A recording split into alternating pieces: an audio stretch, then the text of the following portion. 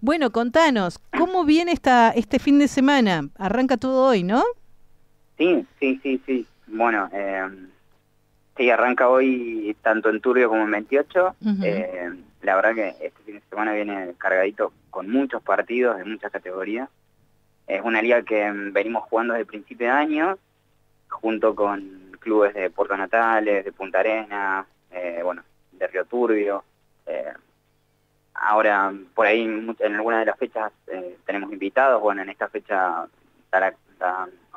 pudo venir Hispanoamericano, que es de Río Gallegos, así que también un equipo que quizás el año que viene se, se integre a nuestra liga. Pero eh, contentos porque, bueno, eh, es una liga que, como te dije hace un ratito, empezó allá cerca de abril. Nos dividimos por fechas.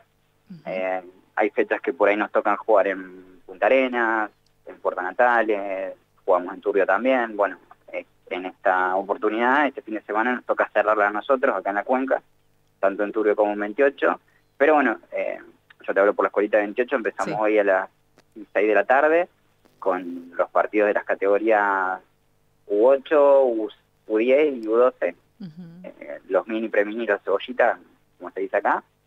Eh, nos visita hoy viernes los chicos de los Pumas, que son de Puerto Natales, los chicos y chicas, ¿no? Porque Sí. estas categorías las dividimos en masculino y femenino también. Así que, bueno, por suerte tenemos mucha cantidad de chicos que van a jugar. Jugamos en el poli y también en el anexo. Así que, bueno, contentos y, y obvio, ansiosos porque, porque, bueno, hoy arranca la batería de partidos que tenemos todo el fin de semana. ¿Y mañana a qué hora comienzan todos los partidos? Mira, mañana arrancamos a las 9 de la mañana Ajá. y el último partido es a las 9 de la noche. Eh, sí, no, sí, estamos todo el día. Eh, bueno, y el domingo seguimos también, pero solamente por la mañana, porque ya a las 3 de la tarde en el anexo hacemos el cierre de la liga eh, con un acto protocolar, entrega de medallas a cada nene, bueno, unos presentes también para, para los chicos que, que participaron. Eh, pero sí, el sábado arrancamos temprano. Nosotros cuando jugamos estas ligas acá en, en, en Turbio 28 siempre lo hacemos en conjunto, tratamos de con- que coincidan las fechas como para que los chicos de los equipos que vienen de otros lados jueguen más partidos. Claro. Entonces a la mañana nosotros recibimos dos equipos que al mediodía cortan y vienen a jugar acá a Turbio, Sí. viceversa con dos equipos que juegan acá en Turbio y después van a la tarde a, a 28, así que los chicos juegan cerca de 10, 11 partidos por día, eh, que son no, en realidad son cortitos, son cuatro cuartos de siete, pero bueno, en cantidad son, son bastante, así que eh, contentos por eso y bueno, y ansiosos porque empiece hoy a la tarde. ¿De cuántos chicos más o menos estamos hablando que van a estar este fin de semana en, de- jugando al básquet? ¿Tenés idea? mira, son cerca de, de 300, ¿sí? Sí, cerca Ah, de 300. ah. Por ejemplo, la, el pedido de medalla eh, alcanza un número de 320. Cada nene, nena, tiene tiene una, Sí. una medallita, así que eh, sí, cerca de 320. Apa, apa. Importante el número de, de chicos que están en, en esta disciplina. Y le- Sí, sí. Sí, la verdad que eh, es algo que, que venimos eh, organizando con los profes, tanto de, de Punta Arenas como Sí. de Puerto Natales, y, y creo que es la, la única liga que se está haciendo en... La única liga que se está haciendo Sí. eh, de esta manera a nivel regional sur, ¿no?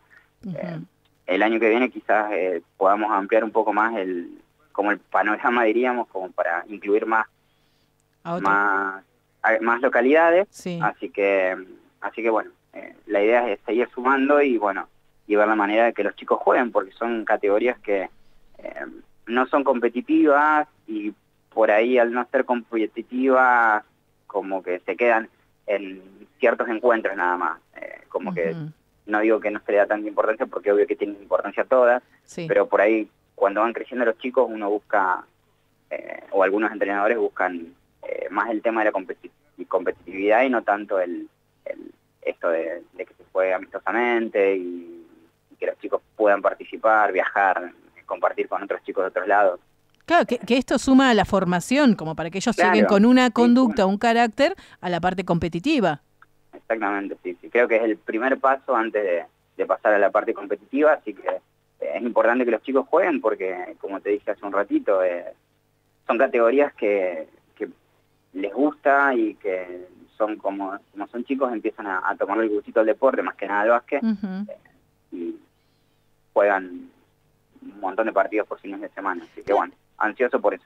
Claro, es que todo suma, todo, porque el perder suma para también manejar la frustración, cómo manejarlo, cómo manejarlo individual y eh, en equipo, todo suma y ayuda a la formación. Por eso está bueno que se hagan y que los equipos se sumen, las familias apoyen.